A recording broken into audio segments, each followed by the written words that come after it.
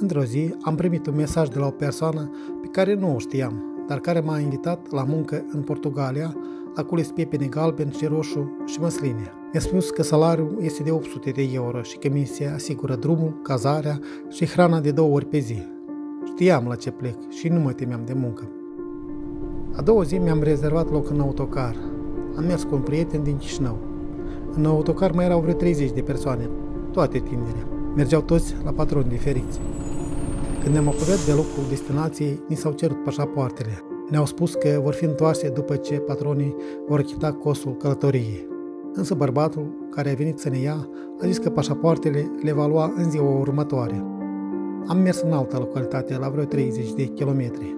Ne-au adus într-un grajd, unde se aflau alți cinci bărbați și două femei.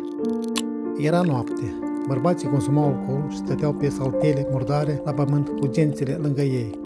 Nu am putut să dorm până dimineața. Am simțit că cel care m-a adus nu avea să-mi scoată pașaportul nici mâine, nici în altă zi.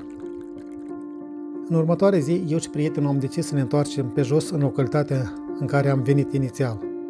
Am mers 5 ore pe o arșiță cumplită. Când am ajuns, am mers la poliție din oraș. Acolo ne-au spus că de asta se ocupă serviciul migrațional. Însă era duminică și nimeni nu lucra.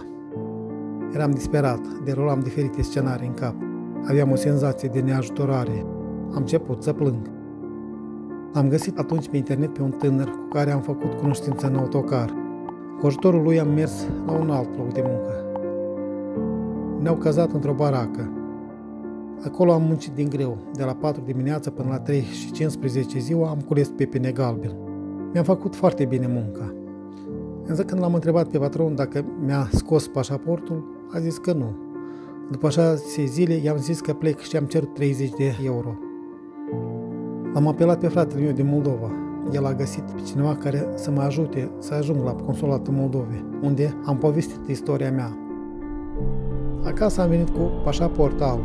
Cel original a rămas în Portugalia. Nu cred că îmi voi face pașaport, îmi ajunge. Am văzut lumea.